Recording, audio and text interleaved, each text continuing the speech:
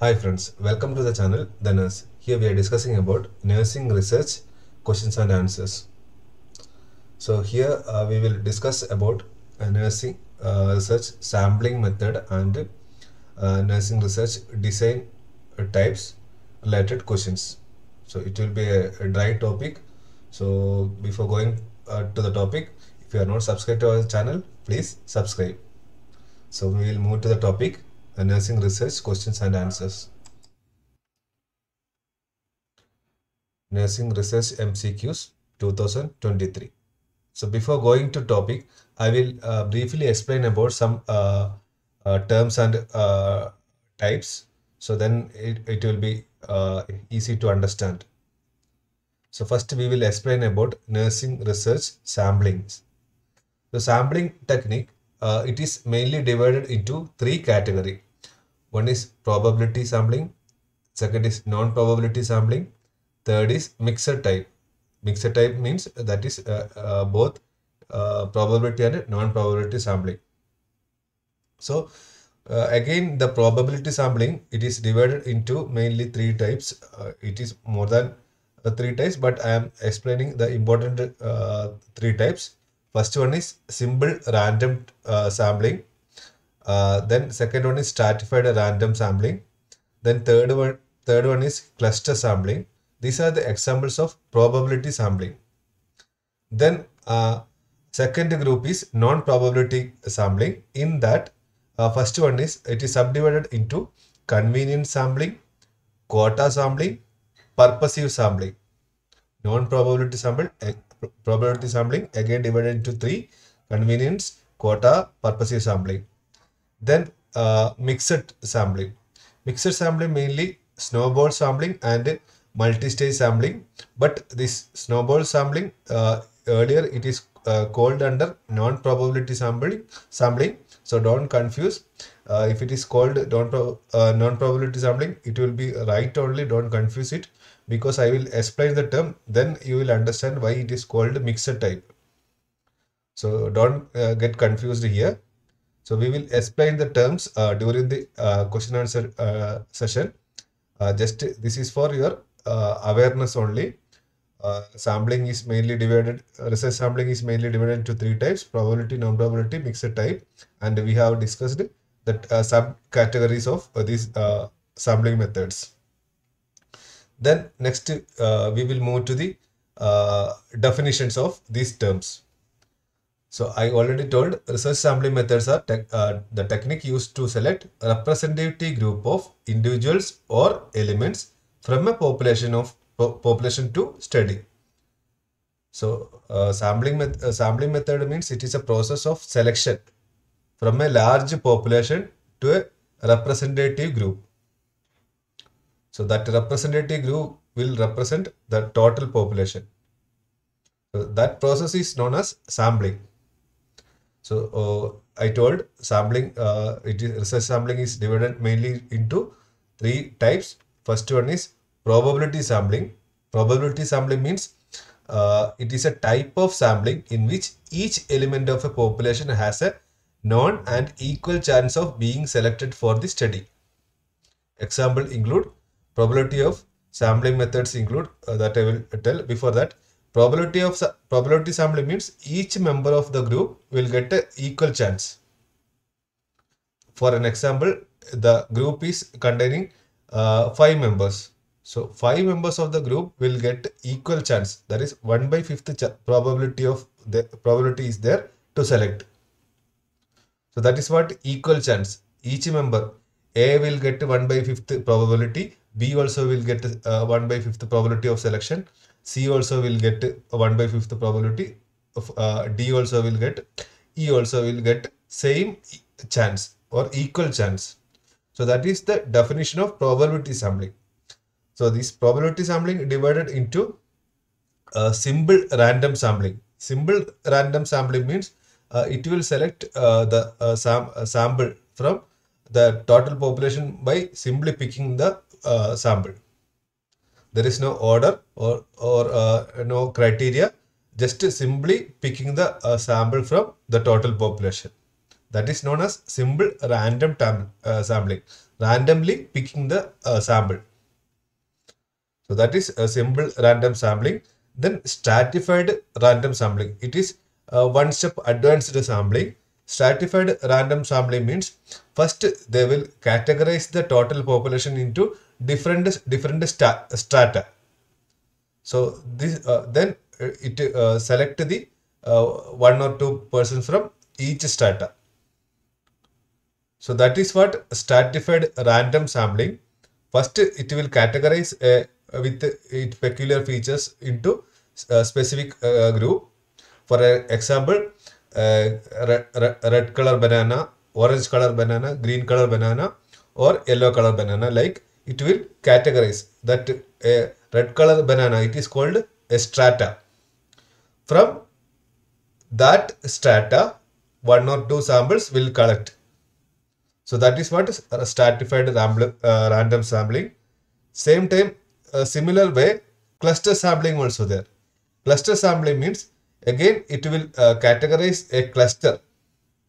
E- cluster how it will make means it will select a, red color uh, banana from red color one red color banana, one yellow color banana, one blue color banana. Like each category one one uh, it will select and make a cluster.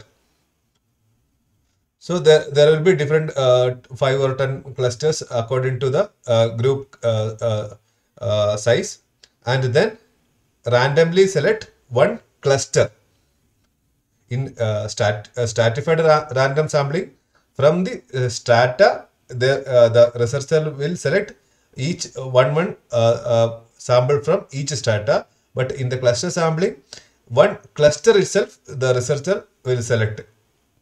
So that is a difference between stratified and cluster sampling method. Then we will move to non-probability sampling. Non-probability sampling means the chance of uh, being selection is unknown. So that is what uh, non-probability sampling definition, simple definition means the selection chance is uh, unknown. Non-probability sampling is a type of sampling in which the probability of any particular element being selected to a study is unknown. So we will discuss the uh, down probability sample types. Then you can understand. You will understand easily. First one is convenience sampling. Convenience sampling means according to the uh, researcher's convenience, which one is easily available, the researcher select that group as a sample. So that is what convenience sample. The it is it is involves selecting individual who are easily accessible or easily available such as students in a particular class or shoppers at a mall. So these are the easily available group uh, they are select, uh, researcher is selecting. That method is known as convenience sampling. It is a type of non-probability sampling. The next sampling, uh, non-probability sampling is quota sampling. Quota sampling, uh, it involves selecting individuals based on predetermined quotas such as certain number of men and women or a certain number of individuals from different different ethnic groups. Quota sampling, uh, that is best ex- example is uh, our reservation uh, uh, this thing. So OBC uh, and uh, general category or SC category, ST category selection. That is the example of quota sampling. So OBC there will be 30 percentage of reservation and the selection will uh, that OBC candidates have chance of 30 percentage people will select from uh, OBC or uh, 15 percentage from uh, SC and 7 percentage from ST and the rest of the uh, selection from uh, undeserved. So these are the examples of quota uh, sampling. That means uh, it involves selecting individuals based on predetermined quotas. So here the the size of the quota from each category it is uh, predetermined already. From that they will select that num- uh, number of people. Then another type of non-probability sampling is purposive sampling. Purposive sampling means uh, it involves selecting individual based on specific purpose or criterion that is such as individuals with a particular disease or conditions. So those who are having some particular uh, disease or condition, they will select as a uh, sample. So that is known as purposive sample. In that, uh, there, will be particular uh, the condition or disease will be there. Then only uh, the person will get selected. So that is known as purposive sampling. These are the examples of non-probability sampling. And uh, I told you one example that is snowball sampling. Uh, that is involves mixed sampling. Uh, mixed sampling means it is a type of sampling that combines both probability and non-probability sampling methods. So uh, examples of mixed sampling includes first one is snowball sampling. Snowball sampling means first uh, the sample the uh, the researcher will select a small group of sample. From that small group, the uh, uh, individuals in the uh, group will refer other persons. They known uh, known to that uh, person person will come into come and join into that group. Then gradually that sample size will increases. So that is the process of snowball sampling. First, uh, the sample size will be very small according to the researchers' uh, need. Then the uh, the uh, sample selected individual will refer other people in into that sample group. Then gradually the sample size will be uh, uh, increases. The uh, so snowball sampling involves selecting individual based on referrals from other participants, starting with a small group of individual and then expanding the sample through referrals. That is why it is comes under mixed sampling. So if you are feeling uh, non-probability sampling is bet, uh, best means you can consider snowball sampling under non-probability sampling also. Then another uh, example of uh, mixed sampling is multi-stage sampling. Multi-stage sampling means this involves using a combination of sampling methods such as selecting clusters using a cluster sampling. So cluster sampling means it is an example of probability sampling and then selecting individuals from each clusters using simple random sampling. So these are like multi-stage sampling. It will it may consider multi-level. After selecting uh, one stage, then again they will uh, uh, re- reduces the sample size. So uh, that is the multi-stage sampling. So it is an example of mixed sampling. Then we will uh, see the research design. Research design types we will see. So research design mainly divided into three category based on uh, time, method, and purpose. The first uh, we will uh, discuss about the research design based on time. So research design based on time that is uh, again uh, divided into two types that is cross-sectional study and longitudinal study. Cross-sectional means uh, uh, it, the study that in a particular time when the researcher is planning to do that particular time uh, what is the situation? That uh, study is known as cross-sectional studies. Longitudinal study in the same the uh, study that conducts a period of time a longer period of time that is known as lo- longitudinal uh, study example of uh, research design that is based uh, divided into based on time. Then based on method it is divided into mainly three types uh, two types. That is qualitative research and quantitative research. Based on method uh, the research design uh, that is divided into two types qualitative research and quantitative research qualitative research it is again subdivided into three. That is phenomenological design grounded theory historical research. Then quantitative research it is divided into two types. That is experimental and non-experimental type of research. In that experimental again divided into true experimental and quasi experimental non-experimental is divided into two that is descriptive type and correlation type. All the terms we will uh, discuss in the uh, coming uh, question answer time. So each each term uh, i will uh, explain there. Same time based on the purpose the research design is divided into four types mainly. Uh, applied research explorative studies explanatory studies action research. So these are the research design and their subcategories are also explained. So we will go to the uh, question and answers. Then I will explain these terms. The, these terms are coming as an options that that time I will explain. First question: which of the following research design is best suited to investigate the causal relationship between an intervention and an outcome? Cross-sectional design,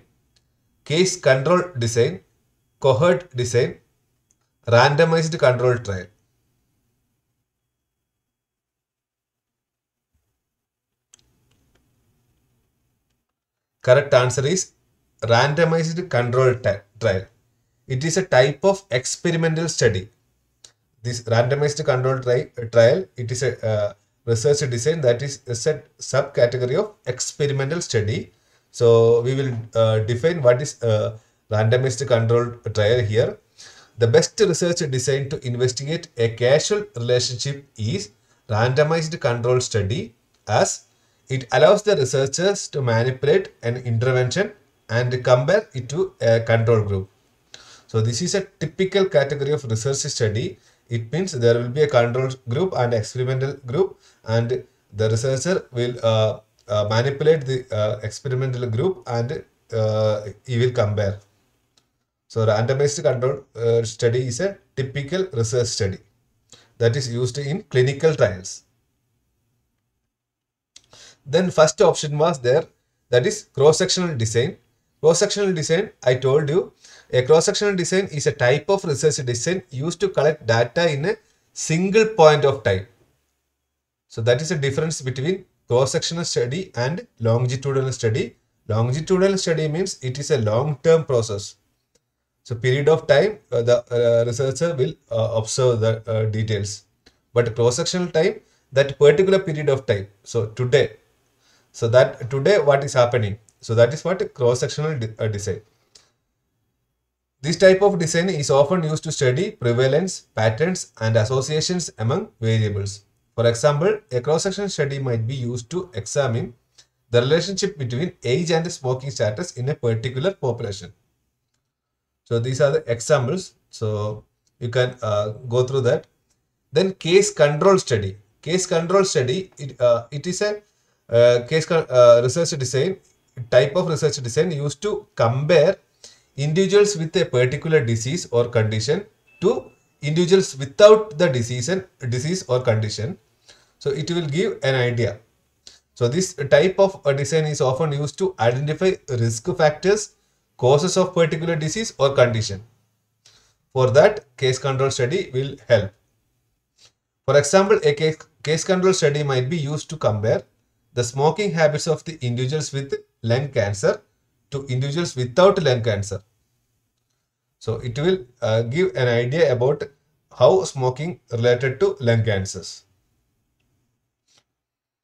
Then uh, third point was cohort design. Cohort design means it is a type of longitudinal type, uh, study only. But uh, compared to longitudinal st study, cohort design uh, will have a shorter period only a shorter period on, uh, we can mention but it is also a longer process only but it is it is deferred to longitudinal by longitudinal study by selecting the uh, sample process so that i will explain here cohort design is a type of type of research design used to follow a group of individual over a period of time same like longitudinal study uh, to study the incidence and patterns of the particular disease or condition. This type of design is often used to identify risk factors or cause, causes of particular disease or conditions.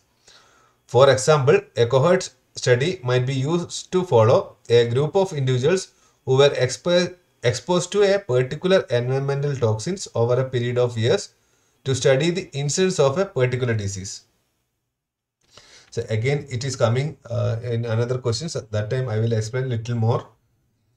Randomized control trial, it is we already uh, explained.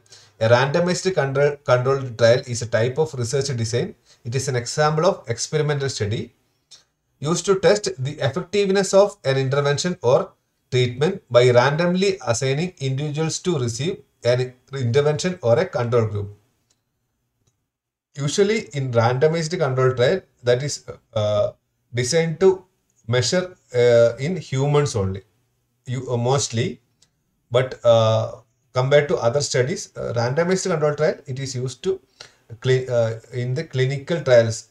That is what it is mainly used. I told you, it mainly used in humans. This type of design is often considered considered a gold standard for evaluating the effectiveness of intervention or treatment because it minimizes bias and confounding factors. For examples, conf- confounding factors I will explain. For example, an RCT might be used to test the effectiveness of a new medication by randomly assigning individuals to receive the medication or a placebo. For an example, uh, our uh, COVID vaccines and uh, uh, we have tested like randomized control trial uh, early. So for randomized control trial, we need to conduct a, a pilot study. Before that, we need to get approval from uh, higher centers like ethnic centers uh, or like ICMR, like controlling authority will be there. Then only we can do randomized control trial. Second question A researcher wants to investigate the prevalence of pressure ulcers in a population. Which of the following sampling technique is most appropriate for this study? Convenient sampling, stratified sampling, snowball sampling, simple random sampling. Correct answer here simple random sampling. So why it is simple random sampling is used here that we will explain. The most appropriate sampling technique for this study is simple random sampling as it ensures that every member of the population has an equal chance of being selected and reduces the risk of selection bias. That is why in bedsore patients, uh, uh, simple random sa- sampling is used there. So the, that is me that means equal chances will be there. Convenient sampling, that is an example of non-probability sampling. Uh, it is a type of non-probability sampling in which individuals are selected based on their convenience or availability. The type of sampling is often used when time or resources are limited and the sample size is small. So, in two conditions, convenience sam- sampling will be used. Uh, uh, one first one is availability or convenience. Second one is the sample size is uh, small. In these uh, criterias are there means we can use convenient sampling. Example means a researcher might use convenient sampling to recruit participants for a study from a class or workplace. So that is easily accessible then stratified sampling i explained it is an example of probability sampling uh, type of probability sampling in which a population is divided into subgroups that is strata and individuals are randomly selected from each stratum in proportion to the size of the stratum. So if large number of uh, people are involved in one strata means uh, the researcher will uh, take one or two people. If smaller strata means will take one uh, sample from each strata. Then uh, third one is snowball sampling. Uh, it is an example of non-probability sampling or we can tell mixed sampling also uh, in which participants are recruited through referrals from each part e- from other participants. This type of sampling is often used when the population is difficult to identify or access. So in that condition, we can use snowball sampling because the uh, the researcher doesn't know about the population or particular uh, rare. If there is a researcher is going to study a rare illness or a rare disease, the researcher doesn't know about who all are affected. So first, uh, the researcher will recruit uh, from his known group. Then these individuals will refer other uh, their friends or their known p- persons. So that gradually the group will the group size will increases. Simple random sampling uh, I already explained that is we can use in the case of uh, bedsore patients uh, study. So that is means each member will get uh, each uh, equal chances. That is the main uh, criteria for simple random sampling. Then third question, a nurse is conducting a study to investigate the impact of impact of new pain management protocol on a patient outcome. Which of the following research method is most appropriate for this study? Quantitative research, qualitative research, mixed method research, action research. Here correct answer is quantitative research. Quantitative research mainly used to quantify or numerical value is there means uh, we can use quantitative research. If we cannot measure uh, the value in a numerical or numbers, then uh, that type of experiment experiment will comes under qualitative research, quality. So here uh, the nurse is using a new pain management protocol on patient uh, that uh, the uh, by using the new pain management protocol on patient outcomes. So that will give a numerical data. So that is why a quantitative research is using here. The most appropriate research method for this study is quantitative research as it allows for the measurement of numerical data and stati- statistical analysis to determine the effectiveness of the pain management protocol. So that is why quantitative used because uh, there is a the uh, we are assessing the numerical data and the statistical analysis. So when there is a numbers comes uh, for a, a, a experiment, then we can use a quantitative research.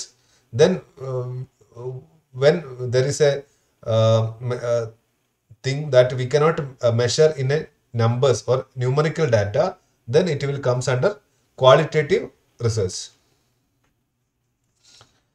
A researcher is conducting a study to investigate the attitude of nursing staff towards the use of electronic health records. Which of the following research method is most appropriate for this study? Experimental research, observational research, survey research, case study research.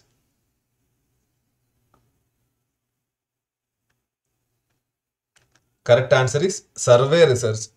So here uh, the researcher is investigating attitudes of nursing staff. Attitudes we cannot measure in uh, numerical data. So it is a kind of uh, qualitative research, survey research. So in that we can measure the attitudes, opinions of that particular uh, individual. The most appropriate research method for this study is survey research as it allows the researcher to collect data on attitudes and opinions through questionnaires or interviews. So through survey, we can uh, get the uh, uh, data on attitudes and opinions through questionnaires or interviews. That is why survey method, survey research method is appropriate there. Experimental research. Experimental research, I already told uh, there will be a, a numerical va- uh, value to uh, uh, experiment. Then we can use experimental research. Experimental research is a type of research in which the researcher manipulate one or more variables to observe the effect on another variable while controlling the extraneous variable. This type of research is often used to establish causal relationship between variables. So that is what I explained in research uh, RCT uh, method. So RCT, RCT method is an example of experimental research only. This type of research is often used to establish causal relationship between variables for variables. For example, a researcher might conduct an experiment to test the effect of new drug or blood uh, pressure by randomly assigning part, uh, participants to receive the drug or a placebo. Experiment, uh, experimental research, uh, it is divided into two, mainly two types. That is true experimental research and quasi-experimental research. True experimental research means there will be a control group and experimental group and there will be a randomization of selection process. In that method is known as true experimental research. There will uh, there is no randomization in experimental research. Then it is called quasi experimental research. Quasi means similar. The randomization is not there means the, uh, it is called quasi experimental. If there is uh, randomization is there means uh, that uh, experimental research is known as true experimental research. Then another uh, option was observational research. Observational research means it is a type of research in which the researcher observes and records the data or on a phenomenon or behavior without manipulating any variable. So observational research means there is no manipulating. uh, no manipulating the data on independent or dependent variables, just observing the behavior and their recording. This type of research is often used when an experimental research is not feasible or ethical or when the goal is to be describe or explore a phenomenon. For an example, a researcher might conduct an observational study to observe the behavior of animal in their natural habitat. So the, it is an example of non-experimental uh, research study. Observational research means it is there is no uh, manipulation of variables. Survey research. Survey research is a type of research in which the researcher collects data from a sample individuals using a standardized questionnaires or interview. This type of research is often used to collect data on attitudes, opinions and behavior. So it is an example of qual uh, qualitative uh, research. For example, the researcher might conduct a survey to assess the public's attitude towards a new policy proposal. Then case study research. Case study research is a type of research in which researcher, researcher investigate a particular case or particular disease or particular illness or situation in depth, often using multiple sources of data. This type of research is often used when the goal is to gain a deep understanding of a phenomenon or to explore a new theory. So if there is a lack of knowledge in particular phenomenon or a, a theory, then uh, there uh, we will conduct case study research to get a deeper depth, uh, depth in-depth knowledge. So case study research will give in-depth knowledge to researcher. Fifth question, which of the following is an example of dependent variable in a nursing research study? Age of participants, sex of participants, blood pressure readings, intervention type. Correct answer is blood pressure readings. Dependent variables means it is dependent to other others or it is dependent to independent variables. So here blood pressure is a dependent into various things. Blood pressure may uh, depends on the uh, patient positioning and uh, technique used to measure or uh, time of the uh, day or age of the participants etc are uh, influenced in blood pressure readings. So, so it is called dependent variables. But age, sex, intervention type, that these are not, it is a fixed one. So it is known as uh, independent variables. It will not change. The dependent variable is the outcome that the researcher is trying to measure and is affected by the independent variable. In this case, blood pressure readings are the dependent variable that may be influenced by the intervention type. Sixth question, a research, uh, this question is from uh, statistics. A researcher is investigating the effect of a new patient education program on a self-care behaviors of individuals with diabetes. Which of the following statistical tests is most appropriate for this study? Chi-square test, ANOVA test, t-test, correlation coefficient. Correct answer here t-test. So I will explain the t-test here. The most appropriate statistical test for the this study is a t-test t-test because it is used to compare means between all the terms you uh, thoroughly watch. Um, it is used to compare means between two groups and determine if the new patient education program has a significant impact on self-care behaviors. So it is the uh, it is used to measure the uh, it compare the um, difference between means means of two groups. T-test. So another uh, I will explain chi-square test. Then you will get confused. That is why I told you to um, concentrate on each words. Chi-square test also it is a statistical test used to determine whether there is a significant association between two categorical variables. Previous t-test it is used to uh, measure the difference between means of two groups. Here chi-square test, it is uh, used to determine whether there is a significant association association between two categorical variables. It is used to test the null hypothesis that are that there is no association between the two variables. For example, a researcher might use a chi-square test to determine whether there is a relationship between gender and voting preference. So initially there will not be a, a relation between the two variables. The researcher is trying to find if there is any uh, relation. So the, uh, that is uh, uh, known as chi-square test. Then ANOVA test is another one. Analysis of variance. That is a, a, a full form of ANOVA test. It is a statistical test used to determine whether there is whether there are any significant differences between the means of three. In t-test, uh, the means of 2 they uh, uh, used in t-test, but ANOVA test, it is a, uh, used to determine whether there are any significant differences between the means of 3 or more. 3 or more groups. It is used to test the null hypothesis that are that there is no significant difference between the means of the groups.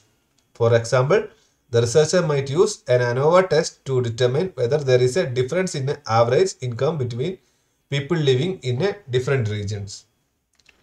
So you can go through the uh, terms uh, for deeper understanding. Then correlation coefficient. Correlation coefficient is a statistical measure that uh, quantifies the strength and direction of the linear relationship between two continuous variables. It ranges from minus 1 to po uh, positive 1 with the value of 0 indicating there is no correlation. Uh, a value of positive 1 indicating a perfect positive correlation. Positive 1 indicates that if one variable is increasing the same direction another variable also increases. That is what positive 1 indicates. The value of, of negative 1 indicating a perfect negative correlation.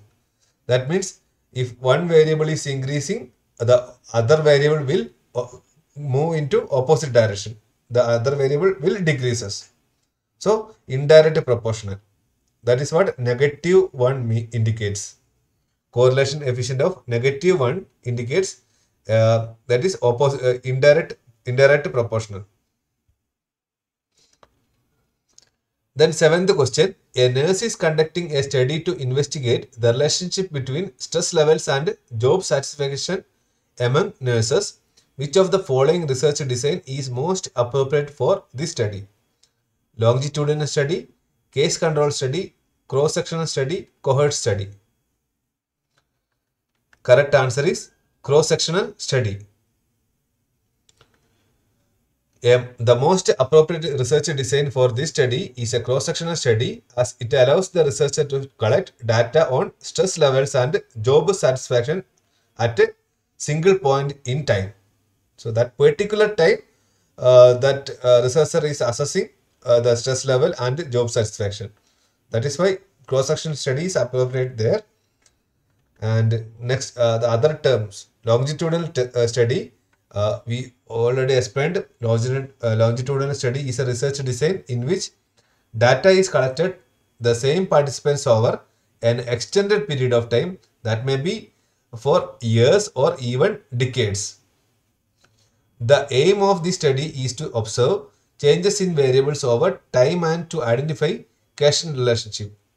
For an example, a researcher might conduct a longitudinal study to examine the effects of new drug on patient's health outcomes over several years. So longitudinal study means it is just opposite to the cross-sectional study. It uh, studies a, a particular uh, uh, data over a period of time. That may be for years or even for decades.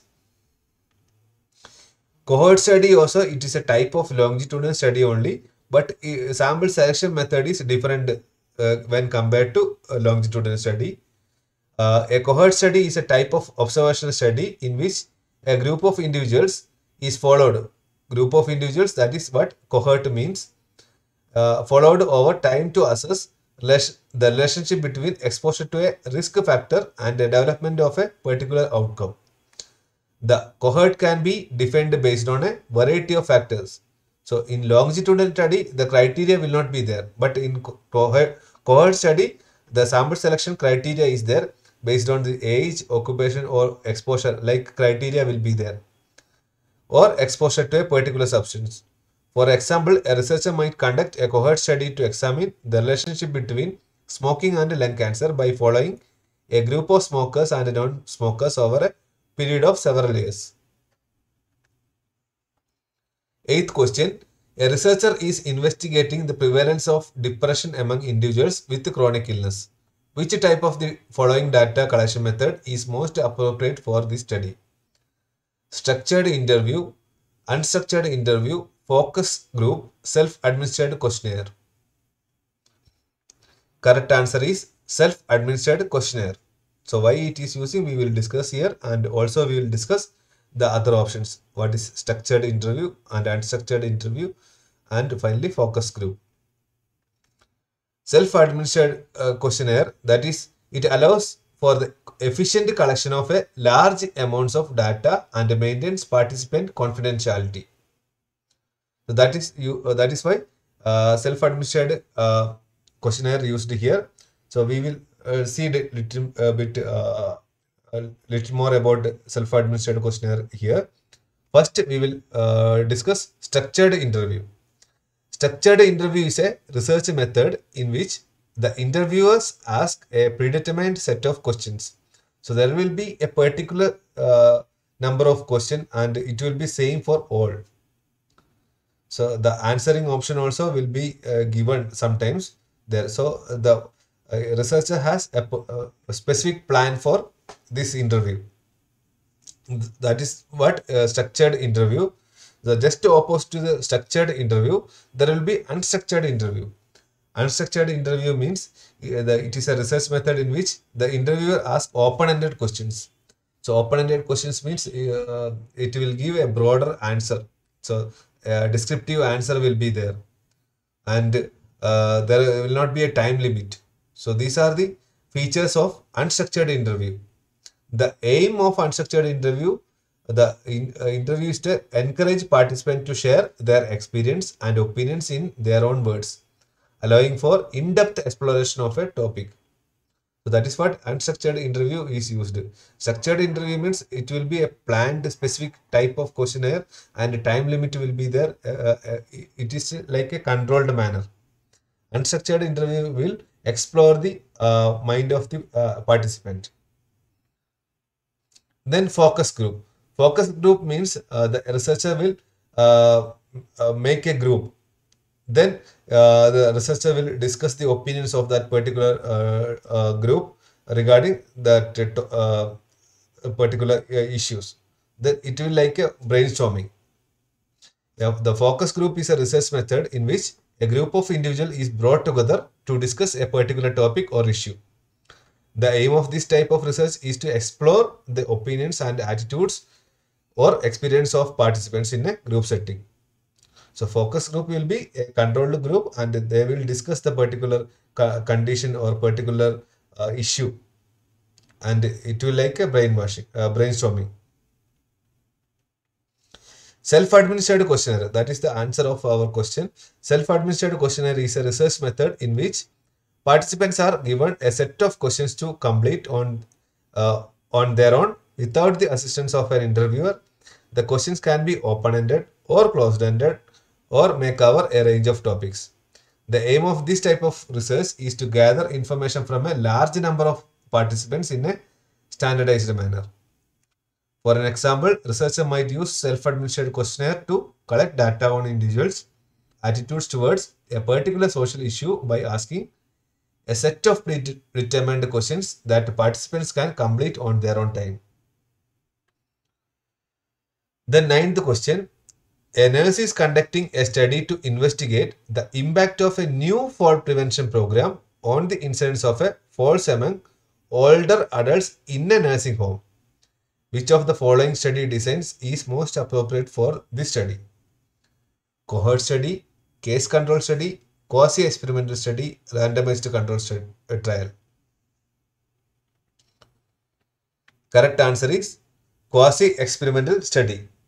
Quasi-experimental study means uh, that is uh, example of experimental research, uh, research. So experimental research is divided into true uh, ex, uh, true experimental research and quasi experiment. In the uh, true experimental study, there is there will be a randomization in selection of uh, sample, but quasi experimental study there will not be a randomization. That is the uh, difference between uh, quasi experimental and true experimental study. But uh, here uh, our sample is older adults in a nursing home. So that we cannot change here because we need to apply the new fall prevention program in same sample only. That is older adults in a nursing home. But we are changing the independent variable here. A new fall prevention that is earlier there was a fall prevention program, but here that fall prevention program is modified and made a new fall prevention program. So that is why it is uh, the quasi experimental study is used here. There is a changes in, uh, in uh, independent variable without doing a randomization in sample selection. The most appropriate study design for this study is a quasi experimental. Quasi means similar, similar to true experimental study, but only difference is uh, randomization is not happening here. as the researcher is manipulating the independent variable that is fall prevention program. It the fall prevention program was there but researcher is updating that one into a new newer one but is unable to randomly assign the participant to intervention or control group. Because the our uh, sample group is the old age persons in a that particular nursing home. That we cannot change but only we are changing the ind independent variable that is uh, for prevention program. Then 10th question, a researcher is conducting a study to investigate the effect of music therapy on anxiety, on anxiety levels among hospitalized patients. Which of the following is an example of a confounding variable that may impact the results of study? So here one new term is coming that is confounding variable. So you need to find the example of a confounding variable from options. Age of participants, type of music used, gender of participants, time of day the music is play, played. So here correct answer is type of music used.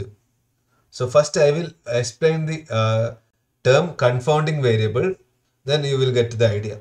Confounding variable is a variable that is not directly measured in the study but may impact the relationship between the independent variable and dependent variable. The definition of confounding variable a variable that is not directly measured in a study but may impact the relationship between independent and variable independent variable and dependent variable. Here, the type of music used is a confounding variable, variable as different type of music may have different effects on anxiety levels. So, different music uh, will uh, reduce different range of uh, anxiety levels in an individual. That is for that is why it is uh, an example of confounding variables. So, I, uh, that is about today's uh, questions. So, 10 questions we have discussed, but we have discussed more terms that is unfamiliar to you. So that is the main objective for this video. I need to explain some terms to understand related to nursing research. Mainly that is from nursing research methods and nursing research designs. So I think this video will be helpful for you. If it is helpful, you can share with your friends.